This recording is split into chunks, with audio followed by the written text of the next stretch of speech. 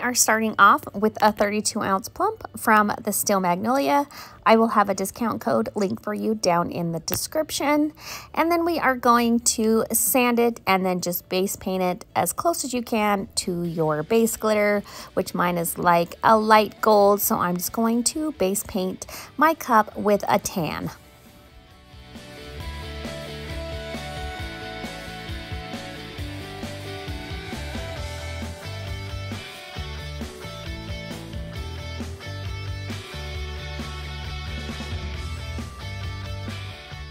Once your paint is all dry, mix up a few milliliters of epoxy and spread that on super thin. You'll need less than 10 milliliters for this entire cup. So you just want to glide your hand over, but really push that epoxy all the way around the cup. If your hand is going over the cup really easily, you probably have too much. So just keep pushing and spreading until you get a really nice even layer where your cup is just all sticky. And then you're going to take your glitter. I am using this super stunning glitter called Romance. And we are going to apply glitter to the entire cup.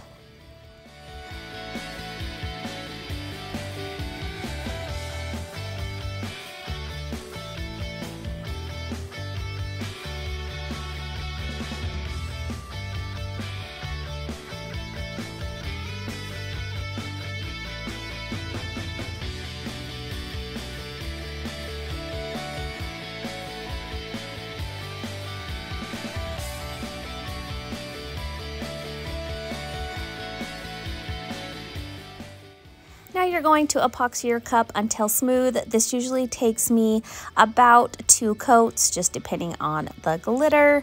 And then we are going to cut out our contemporary stripes on some sort of vinyl. Sometimes I use removable or temporary. This time I just used whatever I had on hand. And we're gonna place one at the top of our tumbler and then one around the bottom.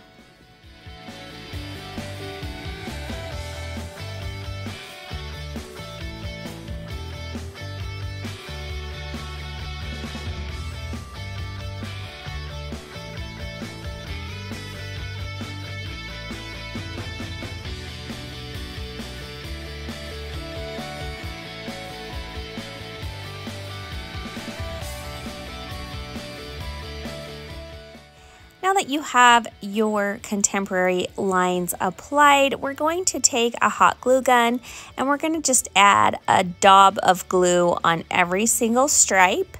This is because we are going to remove these pieces later on after we paint and glitter it and it's just way easier to find them with a glue dot on there.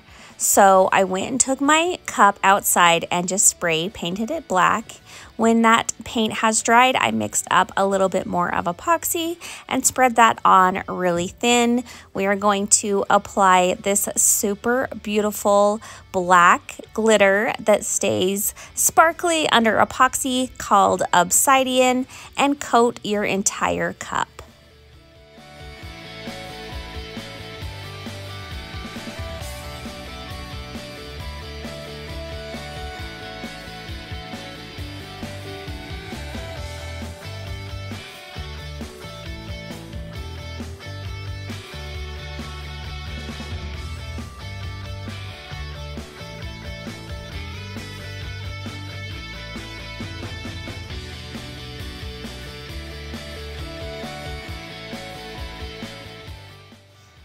Now that your tumbler is completely glittered, we're going to go back and remove all of those contemporary stripes, revealing that beautiful gold underneath.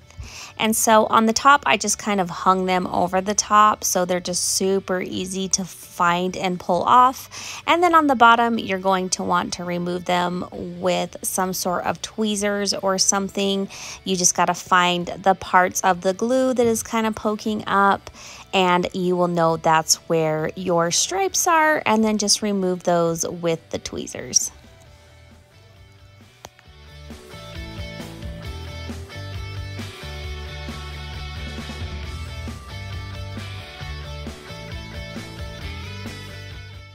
Set your cup to the side to let that glitter layer dry a couple hours.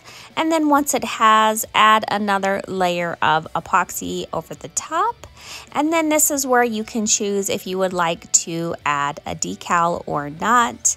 I am giving this one away to my Patreon group and I took suggestions on what the decal should be. So this is the winner of this tumbler, I just thought it was perfect. I kind of wanted an inspirational quote, kind of a power word, and be brave was suggested. So that's what I went with. And so I'm just going to find where I feel like it looks the best with the stripes and place it vertically on the tumbler.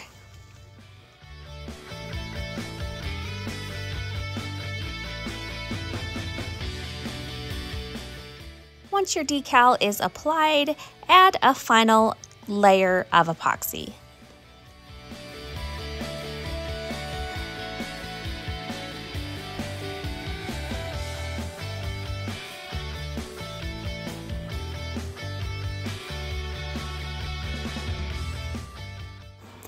And here is our tumbler all finished. I just love the sleek contemporary vibe this tumbler puts off. I hope you guys enjoyed this tutorial. If you did, please remember to like and subscribe. And don't forget to look for me on all other social media platforms under Diamonds and Dust. And thanks so much for watching.